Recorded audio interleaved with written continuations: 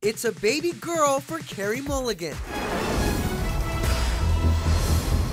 Carey finally saying publicly that she and hubby Marcus Mumford welcomed their first child. She confirmed the news and the baby's gender on the Graham Norton show, simply saying it is a girl and she's three weeks old. The actress is currently promoting her new film Suffragette and she's already returned to red carpet form. Last Wednesday, she dazzled in this gray Chanel dress at the movie's London premiere.